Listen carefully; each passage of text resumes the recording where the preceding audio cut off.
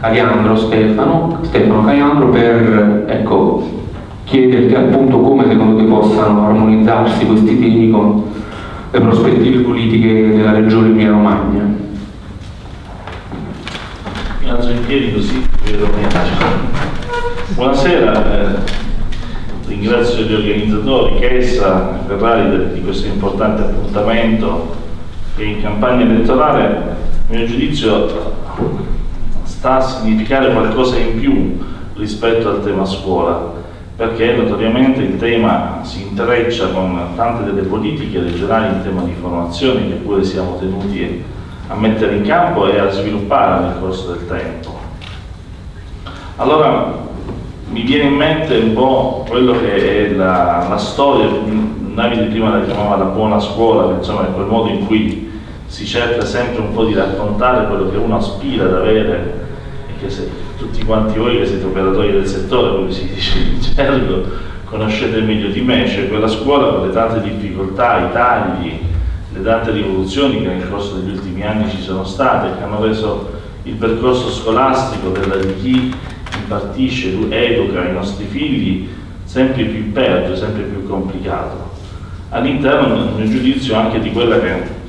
è l'aspettativa rispetto alla formazione e al piano che la formazione stessa deve avere nel nostro territorio. È evidente che parlare di, di ruolo della regione e della formazione con Giovanni Seglioli in campo, cioè in sala, è un po' complicato perché diciamo, è uno dei massimi esperti che ha amministrato e diretto importanti scuole locali, io lo conosco da tanti anni e lui va tutta la mia stima, quindi ho la piena consapevolezza che molte delle cose che posso dare come contributo dovrebbero comunque passare da un confronto con delle persone così preparate, così importanti per il nostro territorio. Dico questo perché ho una consapevolezza che nel percorso formativo regionale passa molto di quello che possono dare i nostri giovani con le scuole tecniche e dal percorso formativo dei nostri giovani adolescenti passa per passaggio per scuola-formazione in cui la scuola, in cui la regione Emilia Romagna può dare molto, ha dato e ha già dato nel, nel corso del tempo passato. Ve da dire però che diciamo, da questo punto di vista il, le complicazioni della formazione, le complicazioni del, che, che, si sono date nel corso del tempo non rendono semplice neanche in Emilia Romagna questo tipo di lavoro non lo vedo semplice per, per una serie di motivi, alcuni sono di carattere strutturale, cioè quanto siamo in grado di investire noi su questi temi. Altri sono di carattere anche diciamo, della popolazione che compone le nostre scuole. È vero infatti che i nuovi cittadini, i nuovi studenti costituiscono un modo diverso anche di percepire il ruolo dell'insegnante, con delle sfide sempre, sempre più grandi per l'insegnante stesso. Allora, diciamo, le, la fase della proposta, in realtà credo che la Regione passi anche molto dalla fase del monitoraggio delle priorità. Questa è una Regione che ha una, un arroccamento su alcuni passaggi, su alcuni punti molto complicati, penso per esempio alla, al blocco intervenuto rispetto alle tematiche relative allo sviluppo dei tecnopoli nel nostro territorio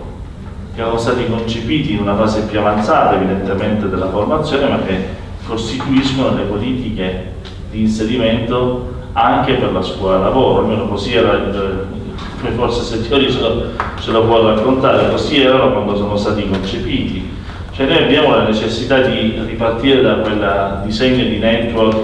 tra impresa, scuola, università che poteva essere l'offerta reale. E il fatto che su quel progetto ci siamo allenati costituisce, a mio giudizio, uno degli elementi sui quali bisognerebbe discutere per il prossimo, prossimo mandato, cioè quanta formazione, quanta capacità di creare risorse utili al territorio siamo in grado di mettere in campo.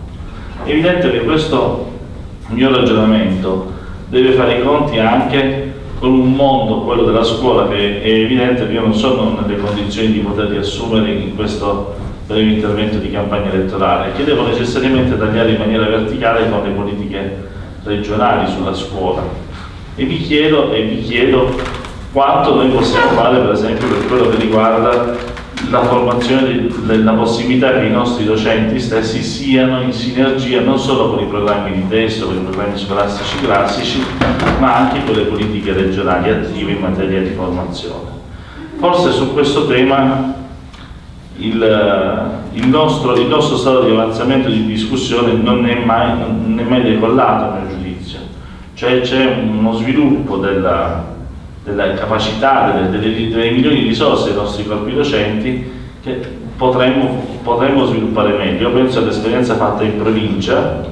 dove in maniera positiva sono stati sviluppati dei piani formativi anche attraverso il provveditorato e sono stati sviluppati quindi piani extrascolastici per intenderci rispetto alla,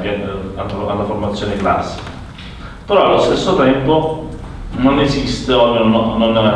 non c'è stata secondo me quella strutturazione progressiva che sarebbe necessaria. Io penso che questo sia il tema reale della, della, della difficoltà nella quale ci troviamo ad operare, che c'è da una parte una grande consapevolezza che c'è bisogno di scuola, c'è bisogno di insegnanti preparati, c'è bisogno di, di classi che siano nelle condizioni di poter operare, però allo stesso tempo questo percorso diventa sempre più complicato, almeno così lo percepisco io e forse spero, spero che mi possa essere anche spiegato altro perché sarei felice, perché i tagli alla scuola, alla formazione e agli enti rendono questo percorso necessariamente più accidentato. Allora la discussione evidentemente diventa forse una discussione su ciò che è prioritario per il nostro territorio. Io credo che riparta la scuola, riparta la formazione, riparta lo sviluppo delle capacità dei nostri stessi alunni soltanto se noi scegliamo di dare alla scuola e al corpo docente un ruolo prioritario nel rilancio del nostro distretto. Questa regione ha bisogno di ripensarsi. Alcune volte forse in realtà ripensarsi non passa in realtà da idee nuove, ma bisognerebbe sviluppare anche quelle che già sono rimaste nella fase embrionale. Io penso realmente che una discussione in questo territorio sia partita da tanti anni, cioè Ferrari e tanti di voi hanno avviato da tanti, almeno per la mia esperienza che vi frequento di tanto in tanto, non essendo io un docente, avete avviato da tanti anni tante riflessioni. Forse il problema è quando uno fa i conti e dice ma tutte le riflessioni, tutte le analisi che sono state fatte su ciò che sono gli insegnanti, su quelli che sono i progetti, quelli che sono le possibilità di realizzazione, quanto investimento c'è stato realmente rispetto all'analisi? Ecco, forse è il momento di passare dalla fase embrionale a quella attuativa, e su questo bisognerebbe che la stessa regione, lo stesso Stefano Bonaccini e se noi saremo della, della compagine consigliare ci impegniamo in maniera diversa. Evidentemente il forum scuola, ma anche le, le consulte che si sono mosse in questi anni hanno dato un grosso contributo, ma le sfide cambiano, come cambiano anche le modalità di insegnamento e penso che forse dovremmo riflettere su cos'è un nuovo modalità di insegnamento al tempo di, un, di una regione che sta cambiando pelle. Su questo e su molto altro credo che la riflessione non appartenga tanto alla, alla sfera del, del monitoraggio, di monitor mi pare che sia stato monitorato tutto sulle problematiche del rapporto tra scuola, formazione, lavoro. Prima sono le risposte che in alcuni casi alcuni insegnanti sono stati in grado di mettere in piedi, ma parliamo a mio giudizio sempre o quasi sempre di capacità individuali. Ecco, io non ho visto, onestamente, se devo, fare, se devo muovere un'autocritica un a quello che siamo come regione in questa fase, la volontà fino adesso di sviluppare tutte le, le forze inespresse che sono state messe in campo dalla fase istruttoria. E su questo probabilmente bisognerebbe ripensarci un pochettino ci, io prima di venire qui stavo facendo una riflessione dico ma in realtà quante cose di quelle che ho sentito dire in questi anni sono state fatte?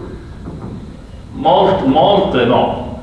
alcune, alcune sono state fatte. Però ripeto, la sensazione che hai quando parli con i presidi, almeno a me è successo quando ricoprivo l'incarico di Presidente del Consiglio provinciale, la sensazione che hai quando ti confronti con gli insegnanti o con, con i presidi delle scuole medie superiori è che molto stia alla capacità che gli insegnanti autonomamente insieme ai loro presidi mettono in campo. E questo però non è una, una notizia solo positiva. Il senso di abbandono, il senso della mancanza di una regia è una responsabilità che sta anche in capo a noi. Allora su questo forse la riflessione dovrebbe essere anche un po' più tranchata.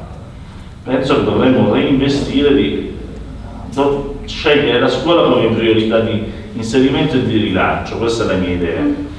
Poi verrà anche il tempo di capire quali possono essere stati gli arretramenti, però ho la sensazione che ci sia poco da analizzare e molto da fare.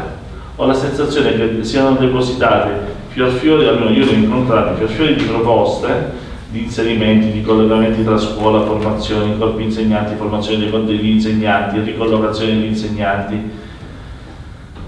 che però stanno sulle carte, non so come dirvelo. Quindi forse l'impegno più forte che potrei prendere è quello di farmi portatore di, dei bisogni che avete già messo a fuoco e stabilire compatibilmente con l'attività amministrativa quale può essere il timing di realizzazione delle nostre, delle nostre idee delle nostre proposte.